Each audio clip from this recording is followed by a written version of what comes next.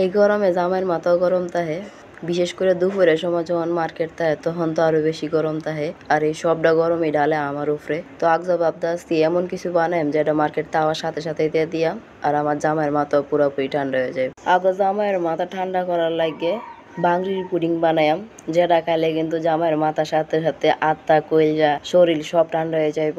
আসসালামু আলাইকুম, সবাই কেমন আছেন? আশা করতেছি ভালো আছেন। তো বাংলির পুডিং বানানোর লাগে কিন্তু অবশ্যই একটা বাংলি লাগবো এই জন্য আমি একটা বাংলি নিছি। বাংলিটার আমি খাইটা চিলাই নিতাছি চিলাই বিচিগুলো ফালায় ছোট ছোট টুকরা করে কাইটা নেওয়া লাগবো। তো এইভাবে আমি সবগুলাই কাইটা নিতাছি, আর বাংলিটা যেহেতু অনেক পাখা এই জন্য কিন্তু অনেকটা নরম এই জন্য আস্তে আস্তে কাটা লাগবো না হলে কিন্তু গইলা গইলা পড়ে যাইবো সবটা বাংলি আর বাংলি পাকা হইলে কিন্তু বুঝবেন যে বাংলিটা যতটা ফাটা ফাটা থাকব ততটাই পাকা। যদি ফাটা না থাকে তাহলে বাংলিটা কিন্তু পাকে নাই আর ওই বাংলি খাইলে কিন্তু কোনো টেস্টই পাইবেন না। আমি কিন্তু অফ ক্যামেরায় সবগুলা বাংলি কাইটা নিয়েছি। ওন কাইটা নেওয়ার পরে হয়েছে ছোট ছোট টুকরা করে কাইটা নেওয়ার পালা। তো আমি ছোট ছোট টুকরা করে কাটতেছি। আপনারা চাইলে কিন্তু টুকরাগুলো আরও বড় করেও কাটতে পারবেন। তবে ছোট করে কাটলে কিন্তু ব্লেন্ডারে জারে দেওয়ার সময় খুব তাড়াতাড়ি ব্লেন্ড হয়ে যায়। এই জন্য ছোট ছোট করে টুকরাগুলো কাটাই ভালো। তো এইভাবে আমি সবগুলা বাংলি ছোট ছোট করে টুকরা টুকরা করে কাইটা নিতেছি। তো আমার সবগুলাই কাটা হয়ে গেছে। এখন বাংলির টুকরাগুলো একটা ব্লেন্ডারে জারে দিয়ে দিব। আমি যেহেতু সবটা বাংলি নিয়েছি, এই জন্য কিন্তু অনেকগুলাই টুকরা হয়েছে। এই জন্য আমি দুইবারে ব্লেন্ড করব। তার জন্য অর্ধেকগুলো বাংরি দিয়ে আমি এখন ব্লেন্ড করে নিতেছি। বাংলিগুলো যেহেতু অনেক সফট ভালো করে পাকা, এই জন্য কিন্তু বেশিক্ষণ ব্লেন্ড করা লাগবে না। জাস্ট এক থেকে দেড় মিনিট ব্লেন্ড করার পরেই বাংলিগুলো খুব সুন্দরভাবে ব্লেন্ড হয়ে গেছে। আর বাংলিগুলো কিন্তু পানি ছাড়া ব্লেন্ডার করার চেষ্টা করবেন, তাহলে কিন্তু খুব তাড়াতাড়ি পুডিংটা হবে। নয়তো কিন্তু অনেকটা যে বেশি জাল করা লাগবে, তার জন্য পুডিং এর টেস্টটাও কিন্তু নষ্ট হয়ে যেতে পারে।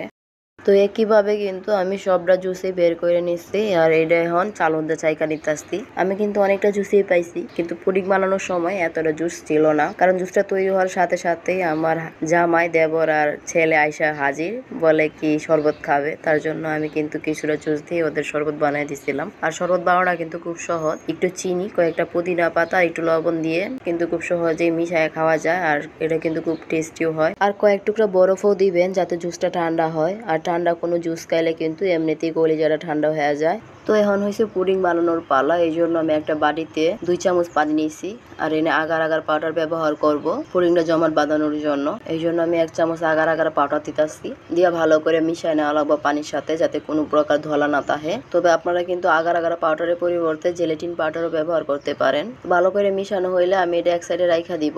আর চুলা একটা কড়াই বসিয়ে দিয়ে দিতেছি দুই কাপ দুধ। এবার চুলাটা জ্বালায় দিব, দিয়ে একটা বলা কাঁসা পর্যন্ত অপেক্ষা করব। আর মাঝে মাঝে নাইড়ে ছেড়ে দেওয়া লাগবো, নয়তো কিন্তু উপরে একটা সর পড়ে যাইব। তো এইভাবে নাইড়া চাইরা আমি দুধটা ফুটা নিতেছি। দুধটা ফুটে গেলে দিয়ে দিব তিন থেকে চার চামচ চিনি। তবে চিনিটা কিন্তু আপনাদের টেস্ট অনুযায়ী দিতে পারেন। আপনারা যদি মিষ্টি একটু বেশি পছন্দ করেন, তাহলে চার থেকে পাঁচ চামচ চিনি দিবেন। আর যদি মিডিয়াম পছন্দ করেন, তাহলে তিন থেকে চার চামচ দিলে যথেষ্ট। চিনিটা দেওয়ার কারণে কিন্তু দুধটা অনেকটা পানসা হয়ে যাবে। তার জন্য কিছুক্ষণ জাল দিয়ে দুধটা ভালো করে ঘন করে নিতে হইব। তো আমি কিছুক্ষণ জাল দিছি। জাল দেওয়ার পরে কিন্তু দুধটা এরকম ঘন হয়েছে এখন আমি দিয়ে দিই আমার আগার আগার পাউডারটা যেটা আমি আগে গুলায় রাখছিলাম। এটা কিন্তু আবার ভালো করে নাইরা চাইলে মিশিয়ে দেওয়া লাগবো। অনেকক্ষণ আগে যেহেতু গুলায় রাখছিলাম, এটা কিন্তু তলে জমাট পাইন হয়ে গেছে। তো ভালো করে নাইরা চাইলে আবার মিশায় আমি আগার আগার পাউডারটা দিয়ে দিতে দিয়ে অনবরত নাড়া লাগবো, নাহলে কিন্তু জমাট পাইন্দা যাইবো। আগার আগার পাউডারটা দিয়ে প্রায় দুই মিনিট জাল করার পরেই কিন্তু দুধটা এরকম ঘন হয়ে গেছে। এখন আমি দুধটা একটা বাড়ির মধ্যে নামায় রাখব। যে বাড়িটাতে আমি সেট করব, ওই বাড়িটাতে নামায় রাখতেছি। আর এটা কিন্তু গরম গরমই করা লাগবো। ঠান্ডা হয়ে গেলে কিন্তু দুধটা করাই সেট হয়ে যাইবো। তো আমি ঠান্ডা হওয়ার জন্য আমি ফ্যানের নিচে রেখে যাচ্ছি আধা ঘণ্টা পরেই কিন্তু খুব সুন্দরভাবে জমাট পাইন্দা যাইবো। এখন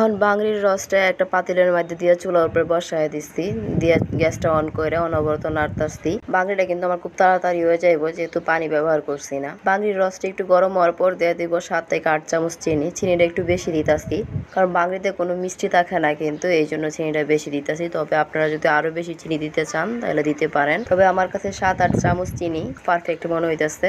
তো চিনিটা দিয়ে আরও কিছুক্ষণ নাড়ে নিতেছি। চিনিটা গলার পরে কিন্তু বাংলির রসটা অনেকটা ফানসা হয়ে গেছে। তো আরও কিছুক্ষণ নাড়ার পর দিয়ে দিব আগার আগার পাউডার এখানে এক চামচ আগার আগার পাউডার দিছি। তো আগার আগার পাউডারটা দেওয়ার পর কিন্তু অনেকটা দলা দলা পাইকে গেছে। যেহেতু ভালো করে আগার আগার পাউডারটা আমার মিশানো হয় না এখন আমি একটা হ্যান্ড উইক্স দিয়ে ভালো করে নাইরা মিশিয়ে নিতেছি। হ্যান্ড উইক্স দিয়ে মেশানোর কারণে কিন্তু আগার আগার পাউডারটা পুরোপুরি মিশে গেছে। তো আগার আগার পাউডারটা দেওয়ার পরও আমি তিন চার মিনিট বাংলি রসটারে জাল করছি। জাল করার কারণে কিন্তু রসটা অনেকটাই ঘন হয়ে গেছে। রসটা এরকম ঘন হইলে চুলার আগুনটা নিয়ে বাই দিতে হইব। আমি যে আগে থেকে দুধটা সেট করে রাখছিলাম, এই দুধটা এখন কিউব করে কাইটে নিছি দেখেন দুধটা কি সুন্দর করে সেট হইছে। আমি একটা কিউব হাতে নিয়ে দেখাইতাছি কতটা শক্ত হইছে আর কতটা সফট হইছে। এখন দুধের কিউবগুলোর উপরে আমি বাংরি রসটা রাইলা দিব, দিয়ে ফ্যানের নিচে রাইকা দিব আধা ঘণ্টার জন্য। আধা ঘণ্টা পর কিন্তু পুরাটাই ভালো করে সেট হয়ে যাইব। তারপর আমি নর্মাল ফ্রিজে তিন থেকে চার ঘণ্টার জন্য রাইকা দিতেছি। তিন থেকে চার ঘণ্টা পর নর্মাল ফ্রিজতে ভার করার পর এরকম হবে। এখন আমি পুডিং এর সাইডগুলা সারাই নিতেছি। পুডিং এর সাইডগুলা সারানো হয়ে গেলে